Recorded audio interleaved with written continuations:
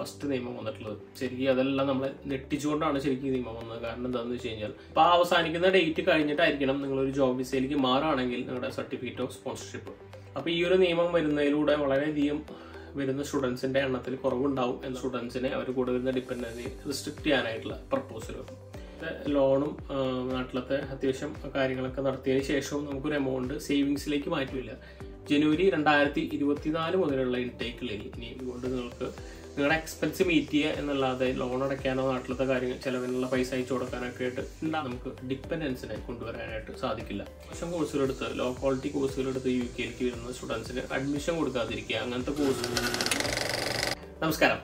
U കെയിലേക്ക് ഈ വരുന്ന ഇൻടേക്ക് ഈ വരുന്ന ഇന്റർനാഷണൽ സ്റ്റുഡൻസിന് പലവിധ കൺഫ്യൂഷൻസ് ഉണ്ടായിരിക്കും. കാരണം അത്രയധികം പ്രപ്പോസലുകളാണ് ദിനം പ്രതി യു കെയിൽ ഇപ്പോൾ ഇന്റർനാഷണൽ സ്റ്റുഡൻസിന്റെയും അവർ കൂടെ വരുന്ന ഡിപ്പെൻഡന്റ് റെസ്ട്രിക്ട് ചെയ്യാൻ ഗവൺമെന്റ് ഇറക്കിക്കൊണ്ടിരിക്കുന്നത്. അപ്പോൾ പല മീഡിയാസിലും ന്യൂസിലും യൂട്യൂബ് ചാനലിലും നിങ്ങളത് കണ്ടുകൊണ്ടിരിക്കുന്നുണ്ടായിരിക്കും. പക്ഷെ ചില ആളുകൾക്കൊക്കെ ഡൗട്ടുകൾ ഉണ്ടായിരിക്കും ഇതിൽ ഏതൊക്കെ പ്രപ്പോസലാണ് കറണ്ട്ലി നിയമമായിട്ടുള്ളത്? ഇനി ഏതൊക്കെയാണ് ഭാവിയിൽ നിയമമാകാൻ പോകുന്നത്? എന്നുള്ള പലവിധ ഡൗട്ടുകളും ഈ വരുന്ന ആളുകൾക്ക് ഉണ്ടായിരിക്കും സ്വാഭാവികമാണ്. കാരണം ഇത്രയധികം എമൗണ്ട് മുടക്കിക്കൊണ്ട് നിങ്ങൾ ഒരു സ്റ്റുഡന്റ് ആയിട്ട് യു കെയിലേക്ക് വരുമ്പോൾ ഈ വക കാര്യങ്ങളൊക്കെ നിങ്ങൾ വ്യക്തമായിട്ട് അറിഞ്ഞിരിക്കണം. അപ്പോൾ അത് ക്ലാരിഫൈ ചെയ്യാൻ വേണ്ടിയിട്ടാണ് നമ്മളിന്ന് വീഡിയോ ചെയ്യുന്നത്. അപ്പോൾ നമുക്ക് സമയം കളയേണ്ട വീഡിയോയിൽ കിടക്കാം. അബ്ദനേഷ് welcome to my channel U K ഫെദസ്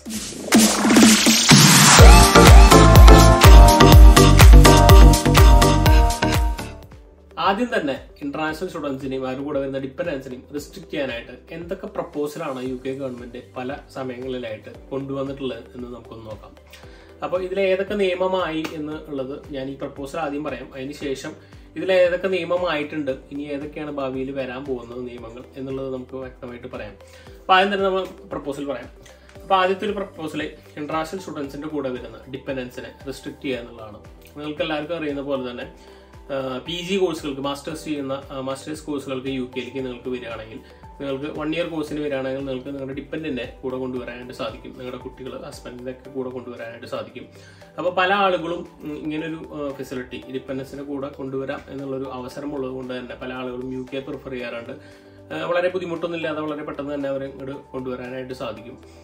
അപ്പോൾ അത് റിസ്ട്രിക്ട് ചെയ്യണം. അത് തടയണം എന്നുള്ളതാണ് first proposal P H D പോലുള്ള ഹൈ വാല്യൂ കോഴ്സുകൾക്ക് ഡിപ്പെൻഡൻസിനെ കൊണ്ടുവരുന്നതുകൊണ്ട് കുഴപ്പമില്ല. പക്ഷെ ഈ പി ജി മാസ്റ്റേഴ്സ് ചെയ്യുന്ന സാധാ കോഴ്സുകൾക്കൊന്നും ഡിപ്പെൻഡൻസിനെ കൊണ്ടുവരാൻ പറ്റില്ല. അതിന് റെസ്ട്രിക്ഷൻസ് കൊണ്ടുവരണം എന്നാണ് ഇപ്പോൾ പറഞ്ഞിട്ടുള്ളത് കറന്റ് പിന്നെ രണ്ടാമത്തെ ഒരു പ്രപ്പോസൽ എന്താണെന്ന് വെച്ച് കഴിഞ്ഞാൽ ഈ കൂടെ കൊണ്ടുവരുന്ന ഡിപ്പെൻഡൻസിനെ ഇവിടെ വർക്ക് ചെയ്യാനായിട്ട് സാധിക്കില്ല. വർക്ക് പെർമിഷൻ കൊടുക്കാതിരിക്കുക. റൈറ്റ് ടു വർക്ക് ഇല്ലാതിരിക്കുക എന്നുള്ളതാണ് രണ്ടാമത്തെ ഒരു പ്രപ്പോസൽ അപ്പോൾ ഇപ്പോൾ കറന്റ്ലി വരുന്ന എല്ലാ ഡിപ്പെൻഡൻസിനും കൂടെ ഫുൾ ടൈം ആയിട്ട് വർക്ക് ചെയ്യാനായിട്ട് സാധിക്കും. നിങ്ങൾക്ക് എല്ലാവർക്കും അറിയാം. അപ്പോൾ അത് വേണ്ട അത് കൊടുക്കാതിരിക്കുക വർക്കിംഗ് പെർമിഷൻ കൊടുക്കാതിരിക്കുക എന്നുള്ളതാണ് രണ്ടാമത്തെ പ്രപ്പോസൽ പിന്നെ മൂന്നാമതായിട്ട് ഒരു പ്രപ്പോസൽ പറയുന്നത് ഡിപ്പെൻഡൻസിന് I L T S പാസ്സായിരിക്കണം I L T S score ഉണ്ടെങ്കിൽ മാത്രമാണ് ഇനി ഡിപ്പെൻഡൻസിന് യു കെയിലേക്ക് കൊണ്ടുവരാനായിട്ട് സാധിക്കുള്ളൂ എന്നുള്ളത്. അപ്പോൾ നിങ്ങൾക്ക് എല്ലാവർക്കും അറിയാം ഇപ്പോൾ ഒരു സ്റ്റുഡന്റ് വിസയിൽ നമുക്ക് യു കെയിലേക്ക് വരാണെങ്കിൽ ഐ എൽ ടി എസിന്റെ ആവശ്യമില്ല. അപ്പോൾ ഡിപ്പെൻഡൻസിന് ഐ എൽ ടി എസ് കൊണ്ടുവന്നു കഴിഞ്ഞാൽ അത് വളരെയധികം ബുദ്ധിമുട്ടായിരിക്കും. പിന്നെ നാലാമത്തെ ഒരു പ്രപ്പോസൽ എന്താണെന്ന് വെച്ച് കഴിഞ്ഞാൽ സ്റ്റുഡന്റ് വിസയിൽ യു കെയിൽ വന്നിട്ട് മറ്റു വിസയിലേക്ക് ജോബ് വിസയിലേക്ക് സ്വിച്ച് ചെയ്യുന്ന ഒരു പ്രവണത യു കെയിൽ ഉണ്ടായിരുന്നു. ഇപ്പോൾ ഫിഫ്റ്റി പെർസെന്റേജ് ഫീസ് അടച്ചിട്ടാണ് നമ്മൾ സ്റ്റുഡന്റ് ആയിട്ട് യു കെയിലേക്ക് വരുന്നത്. ബാലൻസ് ഫിഫ്റ്റി പെർസെന്റേജ് നമ്മൾ ഇവിടെ എത്തിയതിന് ശേഷമാണ് പേ ചെയ്യുന്നത്. അപ്പോൾ പല കുട്ടികളും പകുതി ഫീസ് നാട്ടിൽ നിന്ന് അടച്ച് സ്പോൺസർഷിപ്പ് ലഭിച്ച് യു കെയിലേക്ക് വരികയും യൂണിവേഴ്സിറ്റിയിലേക്ക് വരികയും. അവിടെ നിന്ന് ബാലൻസ് ഫീസ് അടയ്ക്കുന്ന സമയത്ത് അത് ഏജൻസിക്ക് കൊടുത്ത് കെയർ വിസയിലേക്ക് മാറുന്ന ഒരു പ്രവണതയൊക്കെ ഉണ്ടായിരുന്നു. അപ്പോൾ അത് ഗവൺമെന്റിന്റെ ശ്രദ്ധയിൽപ്പെടുകയും അത് കർശനമായി നിയന്ത്രിക്കണം എന്നുള്ളൊരു അഭിപ്രായം വരികയും ചെയ്തു. അപ്പോൾ അത് സംബന്ധിച്ചാണ് ഈ പ്രപ്പോസൽ വന്നിരിക്കുന്നത്. സ്റ്റുഡന്റ് വിസയിൽ യു കെയിൽ വന്ന് മറ്റ് കെയർ വിസയിലോ ജോബ് വിസയിലേക്ക് സ്വിച്ച് ചെയ്യുന്നത് തടയണം എന്നുള്ളതാണ് നാലാമത്തെ നമ്മുടെ പ്രപ്പോസൽ പിന്നെ അടുത്തൊരു പ്രപ്പോസൽ അഞ്ചാമത്തെ ഒരു പ്രപ്പോസൽ എന്താണെന്ന് വെച്ച് കഴിഞ്ഞാൽ പി എസ് ഡബ്ല്യു എടുത്ത് കളയാം. ഇപ്പൊ നമുക്ക് കറണ്ട്ലി രണ്ട് കൊല്ലമാണ് നമ്മൾ ഒരു കൊല്ലത്തെ കോഴ്സിന് വന്നു കഴിഞ്ഞാൽ രണ്ട് കൊല്ലം നമുക്ക് ഇവിടെ സ്റ്റേ ബാക്ക് യു കെയിൽ ഉണ്ടായിരിക്കും. ആ സമയങ്ങളിൽ പഠിച്ച സംബന്ധിച്ചായിട്ടുള്ള ജോലികൾ നമുക്ക് ഇവിടെ യു കെയിൽ കണ്ടുപിടിക്കാനായിട്ടില്ലെങ്കിൽ അല്ലെ അല്ലെങ്കിൽ ഏതെങ്കിലും തരത്തിലുള്ള ഒരു വർക്ക് വിസ നിങ്ങൾക്ക് യു കെയിൽ കണ്ടുപിടിക്കാനായി കഴിഞ്ഞാൽ ബാക്കി നമുക്ക് ഇവിടെ നിൽക്കാനായിട്ട് സാധിക്കും. പക്ഷെ അത് എടുത്തു കളയണം എന്നുള്ളതാണ് അഞ്ചാമത്തെ പ്രപ്പോസൽ അപ്പോൾ അത് എടുത്തു കളഞ്ഞാൽ എന്താണെന്ന് വെച്ച് കഴിഞ്ഞാൽ നമ്മൾ കോഴ്സ് കഴിഞ്ഞ് അത് സംബന്ധിച്ച് ജോലി കിട്ടിയിട്ടില്ലെങ്കിൽ നമുക്ക് നാട്ടിലേക്ക് തിരിച്ചു വരേണ്ടതായിട്ട് വരും. അപ്പോൾ ആ ഒരു പീരീഡ് ഇല്ലെങ്കിൽ ശരിക്കും നമുക്ക് യു കെയിൽ ഒരു സ്റ്റുഡന്റ് ആയിട്ട് വരുന്ന വർത്തല്ല എന്നുള്ളതാണ് ശരിക്കും. അപ്പോൾ ആ ഒരു പ്രപ്പോസലാണ് അഞ്ചാമതായിട്ട് വന്നിട്ടുള്ളത്. പിന്നെ ആറാമതായിട്ട് പറയുന്ന ഒരു പ്രപ്പോസൽ എന്താണെന്ന് വെച്ച് കഴിഞ്ഞാൽ യു കെയിലേക്ക് നിലവാരമില്ലാത്ത കോഴ്സുകൾ എടുത്തിട്ട് പല യൂണിവേഴ്സിറ്റിയിലേക്കും പല സ്റ്റുഡൻസും വളരെയധികം വന്നുകൊണ്ടിരിക്കുകയാണ്. അപ്പോൾ അത് നിർത്തലാക്കണം. കാരണം ഈ കോഴ്സ് എടുത്ത് വരുന്ന സ്റ്റുഡൻസിന് ഭാവിയിലെ യു കെയിൽ ഒരു ജോലി കിട്ടാവുന്ന രീതിയിലുള്ള കോഴ്സാണോ നിലവാരമുള്ള കോഴ്സാണോ എന്ന് ഉറപ്പുവരുത്തിയിട്ട് മാത്രമാണ് അവർക്ക് അഡ്മിഷൻ കൊടുക്കാവൂ എന്നാണ് ആറാമത്തെ ഒരു പ്രപ്പോസലായിട്ട് ഗവൺമെന്റ് പറയുന്നത്. ഇതൊക്കെയാണ് മേജറായിട്ട് ഇപ്പോൾ യു കെയിൽ വന്നിട്ടുള്ള ഇന്റർനാഷണൽ സ്റ്റുഡൻസിനെ അവർ കൂടെ വരുന്ന ഡിപ്പെൻഡന്റിനെ റിസ്ട്രിക്ട് ചെയ്യാനായിട്ടുള്ള പ്രപ്പോസലുകൾ ഇനി ഇതിൽ ഏതൊക്കെ നിയമമായിട്ടുണ്ട് ഏതൊക്കെ നിയമം വന്നിട്ടുണ്ട് എന്നുള്ളത് നമുക്കൊന്ന് നോക്കാം. ആദ്യം തന്നെ ഇപ്പോൾ ഇന്റർനാഷണൽ സ്റ്റുഡൻസ് സ്റ്റുഡന്റ് വിസയിൽ വന്ന് സ്വിച്ച് ചെയ്യുന്ന ജോബ് വിസയിലേക്ക് കേരള പോലുള്ള ജോബ് വിസയിലേക്ക് സ്വിച്ച് ചെയ്യുന്ന കാര്യത്തിലാണ് ഫസ്റ്റ് നിയമം വന്നിട്ടുള്ളത്. ശരിക്കും അതെല്ലാം നമ്മൾ ഞെട്ടിച്ചുകൊണ്ടാണ് ശരിക്കും നിയമം വന്നത്. കാരണം എന്താണെന്ന് വെച്ച് കഴിഞ്ഞാൽ യു കെയിൽ ഇതുവരെ ഉണ്ടായിരുന്നത് ഒരു നിയമം പാസ്സാക്കുമ്പോൾ അത് ഇന്ന ഡേറ്റ് മുതൽ ഇപ്പോൾ ഇന്നാണ് നിയമം പാസ്സാക്കുന്നതെങ്കിൽ ജനുവരി രണ്ടായിരത്തി ഇരുപത്തിനാല് മുതൽ ഈ നിയമം നിലവിൽ വരും എന്ന് മുൻകൂട്ടി പറഞ്ഞുകൊണ്ടാണ് നിയമങ്ങൾ പാസ്സാക്കാറ് സാധാരണ. പക്ഷേ ഈ ഒരു കേസിൽ അങ്ങനെയൊന്നും ഉണ്ടായിട്ടില്ല. ജൂലൈ ഈ മാസം പതിനേഴാം തീയതിയാണ് ഈ നിയമം പാസ്സാക്കിയത്. മുൻകൂട്ടി ഒരു പ്രപ്പോസൽ പോലെ പറഞ്ഞിട്ടുണ്ടായിരുന്നു. പക്ഷേ ഇത് ഇന്നു മുതൽ ഇന്ന ഡേറ്റ് മുതൽ വരും എന്നുള്ളത് ക്ലാരിഫൈ ചെയ്ത് പറഞ്ഞിട്ടുണ്ടായിരുന്നില്ല. അപ്പോൾ അത് വളരെ പെട്ടെന്ന് എടുത്തൊരു തീരുമാനമാണ് ഈ സ്വിച്ചിങ് ഇന്റർനാഷണൽ സ്റ്റുഡൻസ് സ്റ്റുഡന്റ് വിസയിൽ വന്ന് ജോബ് വിസയിലേക്ക് സ്വിച്ച് ചെയ്യാൻ പറ്റില്ല എന്നുള്ളൊരു തീരുമാനം വളരെ പെട്ടെന്നാണ് യു കെ ഗവൺമെന്റ് എടുത്തത്. നമ്മളെല്ലാവരും വിചാരിച്ചിരുന്നത് ജനുവരി രണ്ടായിരത്തി ഇരുപത്തിനാലായിരിക്കും ഈ നിയമം ഇംപ്ലിമെന്റ് ചെയ്യുക എന്നുള്ളതാണ്. പക്ഷേ വളരെ പെട്ടെന്ന് തന്നെ ഈ നിയമം വരികയുണ്ടായി. അപ്പോൾ ഇനി മുതൽ യു കെയിലേക്ക് വരുന്ന ഇന്റർനാഷണൽ സ്റ്റുഡൻസിന് ഫീസ് അടയ്ക്കാതെ മറ്റ് ജോബ് വിസയിലേക്ക് കേരള പോലുള്ള വിസയിലേക്ക് മാറാനായിട്ട് സാധിക്കില്ല. നിങ്ങളുടെ ക്യാഷ് എടുത്ത് നോക്കി കഴിഞ്ഞാൽ നിങ്ങൾക്ക് കാണാനായിട്ട് സാധിക്കും. നിങ്ങളുടെ കോഴ്സ് തുടങ്ങുന്ന ഒരു ഡേറ്റും നിങ്ങളുടെ കോഴ്സ് അവസാനിക്കുന്ന ഒരു ഡേറ്റും അപ്പോൾ ആ അവസാനിക്കുന്ന ഡേറ്റ് കഴിഞ്ഞിട്ടായിരിക്കണം നിങ്ങൾ ഒരു ജോബ് വിസയിലേക്ക് മാറുകയാണെങ്കിൽ നിങ്ങളുടെ സർട്ടിഫിക്കറ്റ് ഓഫ് സ്പോൺസർഷിപ്പ് പിന്നെ ഈ പ്രപ്പോസലിൽ നിന്ന് നിയമമായിട്ടുള്ള ഒരു കാര്യം എന്താണെന്ന് വെച്ച് കഴിഞ്ഞാൽ ഡിപ്പെൻഡൻസിനെ റെസ്ട്രിക്ട് ചെയ്യാം. ഇപ്പോൾ യു കെയിൽ കഴിഞ്ഞ കൊല്ലമൊക്കെ നോക്കുകയാണെങ്കിൽ നമുക്ക് നൈജീരിയ എന്നൊക്കെ അറുപതിനായിരം സ്റ്റുഡൻസ് വന്നപ്പോൾ അമ്പത് അമ്പത്തൊമ്പതിനായിരം ഡിപ്പെൻഡൻസ് ആണ് അവരുടെ കൂടെ വന്നത്. അപ്പോൾ ഇത്രയധികം ആളുകൾ യു കെയിലേക്ക് വരുമ്പോൾ വളരെയധികം ബുദ്ധിമുട്ടാണ് യു കെയിൽ ഉണ്ടാകുന്നത് അക്കോമഡേഷൻ കിട്ടാനും കുട്ടികൾക്ക് അഡ്മിഷൻ കിട്ടാനൊക്കെ.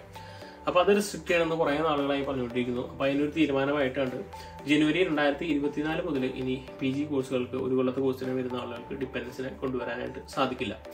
പി എച്ച് ഡി പോലുള്ള ഹൈ വാല്യൂ കോഴ്സുകൾക്ക് ഡിപ്പെൻഡൻസിനെ കൊണ്ടുവരാൻ യാതൊരു ബുദ്ധിമുട്ടില്ല നമുക്ക് സാധാരണ ഇപ്പോൾ നോർമൽ കോഴ്സുകൾക്ക് വരുന്ന ആളുകൾക്കാണ് ഡിപ്പെൻഡൻസിനെ കൊണ്ടുവരാൻ സാധിക്കാതിരിക്കുക. അപ്പോൾ നിങ്ങൾക്ക് എല്ലാവർക്കും അറിയാം നമ്മൾ കല്യാണം കഴിഞ്ഞ ഒരാളാണെങ്കിൽ ഡിപ്പെൻഡന്റ് ആയിട്ട് ഇവിടെ വന്ന് സെറ്റിൽ ആവാം അല്ലെങ്കിൽ ഒരുമിച്ച് നിൽക്കാം എന്നുള്ള കാരണത്തോടൊക്കെയാണ് നമ്മൾ യു കെ സെലക്ട് ചെയ്യുന്നത്. അപ്പോൾ ഇങ്ങനെ ഒരു നിയമം വന്നു കഴിഞ്ഞാൽ പല ആളുകളും യു കെയിലേക്ക് വരാതാവും. അതുകൊണ്ട് തന്നെ നെറ്റ് ഇമിഗ്രേഷൻ യു കെയിൽ കുറയാനായിട്ട് സാധിക്കും. അതുകൊണ്ടാണ് ഇങ്ങനത്തെ തീരുമാനം യു കെ ഗവൺമെന്റ് എടുക്കാനായിട്ടുള്ള കാരണം. അപ്പോൾ വേറെ പല ബുദ്ധിമുട്ടുകളും ഇതുകൊണ്ടുണ്ട്. കാരണം നമ്മൾ ഡിപ്പെൻഡൻസ് ഡിപ്പെൻഡന്റ് ആയിട്ട് യു കെയിൽ വരുമ്പോൾ നിങ്ങൾക്ക് കോഴ്സിന് ക്ലാസ്സിലേക്ക് പോകാൻ സാധിക്കും. ഡിപ്പെൻഡന്റിന് ഫുൾ ടൈം ആയിട്ട് യു കെയിൽ വർക്ക് ചെയ്യാനായിട്ട് സാധിക്കും. അങ്ങനെ ഫുൾ ടൈം ആയിട്ട് വർക്ക് ചെയ്ത് അത്യാവശ്യം ഏർണിങ്സ് ഒക്കെ അവർക്ക് ഉണ്ടാക്കാനായിട്ട് സാധിക്കും. സ്റ്റുഡന്റിനാണ് twenty hours per week work ചെയ്യാനായിട്ടുള്ള റെസ്ട്രിക്ഷൻസ് ഉള്ളത്. ഡിപ്പെൻഡൻസിനോട് ഫുൾ ടൈം ആയിട്ട് വർക്ക് ചെയ്യാം. അപ്പോൾ സ്റ്റുഡന്റിനെ അവരുടെ പഠിത്തത്തിൽ കോൺസെൻട്രേറ്റ് ചെയ്യാനായിട്ട് സാധിക്കും. ഡിപ്പെൻഡൻസിന് വർക്കിന് ഫുൾ ടൈം ആയിട്ട് വർക്കിന് പോകാനായിട്ട് സാധിക്കും. അത് അതിൽ നിന്ന് അത്യാവശ്യം ഏർണിങ്സ് നമുക്ക് ഉണ്ടാക്കാനായിട്ട് സാധിക്കും. അപ്പോൾ നമുക്ക് നാട്ടിലത്തെ ലോൺ അടയ്ക്കാനും നാട്ടിലത്തെ കാര്യങ്ങൾക്കുമായിട്ടുള്ള പൈസ അതിൽ നിന്ന് ഉണ്ടാക്കാനായിട്ട് സാധിക്കും.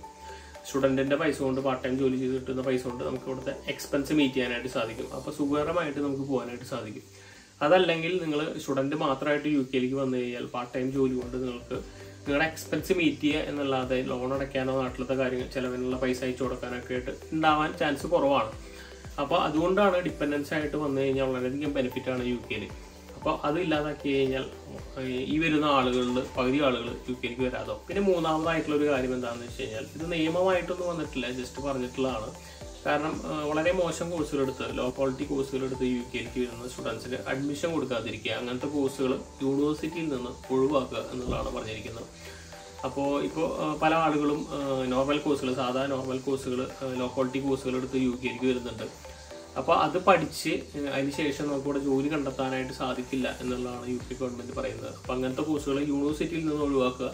അങ്ങനത്തെ കോഴ്സുകൾക്ക് അഡ്മിഷൻ ഇന്റർനാഷണൽ സ്റ്റുഡൻസിന് അഡ്മിഷൻ കൊടുക്കാതിരിക്കുക. അതാണ് മൂന്നാമത്തെ ഒരു കാര്യം. അപ്പോൾ ഇതൊക്കെയാണ് ഇന്റർനാഷണൽ സ്റ്റുഡൻസിനെ റെസ്ട്രിക്ട് ചെയ്യാനായിട്ട് യു കെ ഗവൺമെന്റ് ഇപ്പോൾ കൊണ്ടുവന്നിട്ടുള്ള നിയമങ്ങൾ ബാക്കിയുള്ളതെല്ലാം പ്രപ്പോസലാണ് അത് പ്രപ്പോസലായിട്ട് തന്നെ നിലനിൽക്കുകയാണ്. നിയമം ആവുകയോ ഇല്ലയോ എന്നുള്ളത് നമുക്കിപ്പോൾ കറക്റ്റായിട്ട് പറയാനായിട്ട് സാധിക്കില്ല. കാരണം അത് വരാം വരാതിരിക്കാം. അപ്പോൾ അതൊന്നും പറയാനായിട്ട് സാധിക്കില്ല. ഇപ്പൊ നിങ്ങൾ വരാനിരിക്കുന്ന ഒരാളാണ് സെപ്റ്റംബർ ഇൻടേക്കിൽ വരാനിരിക്കുന്ന ഒരാളാണെങ്കിൽ ഇതൊന്നും നിങ്ങളെ എഫക്ട് ചെയ്യുന്ന കാര്യങ്ങളല്ല. ഇതിൽ ആകെ ഒരു കാര്യം മാത്രമാണ് നിങ്ങളെ എഫക്ട് ചെയ്യുക. കാരണം നിങ്ങൾ സ്റ്റുഡന്റ് ആയിട്ട് വന്നിട്ട് കോഴ്സ് കംപ്ലീറ്റ് ചെയ്യാതെ നിങ്ങൾക്ക് ജോബ് വിസയിലേക്ക് മാറാനായിട്ട് സാധിക്കില്ല.